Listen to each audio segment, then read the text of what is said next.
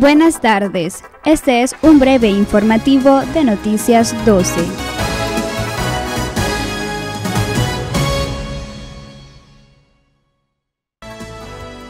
La Organización Panamericana de la Salud dijo que no tienen información sobre nuevas variantes de COVID-19 en Nicaragua, a pesar de tener los materiales para la identificación. El Papa Francisco invita a vacunarse contra el COVID-19, resaltó que vacunarse es un acto de amor.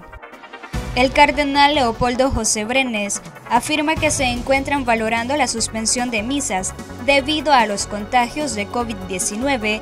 Asimismo, llama a los feligreses a un mes de oración por la patria.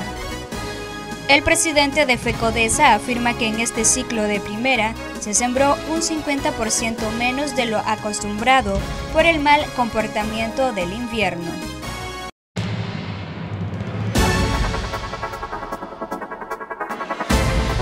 Espera la ampliación de esta y otras informaciones a las 6 de la tarde.